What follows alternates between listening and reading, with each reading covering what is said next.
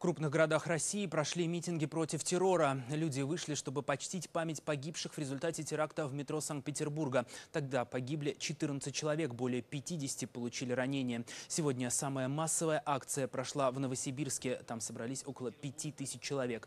Митинг начался с минуты молчания. Формально заявителем выступили российские студенческие отряды. Акция прошла на площади перед научно-технической библиотекой при поддержке мэрии и правительства региона. Митинги прошли также также в Липецке, Петрозаводске и других городах. В Москве, напомню, акция состоялась в четверг и собрала по официальным данным около 50 тысяч человек. Ее организатором выступила Московская Федерация профсоюзов. Газета «Коммерсант» написала, что Кремль потребовал вывести на улицы бюджетников. Власти это опровергают.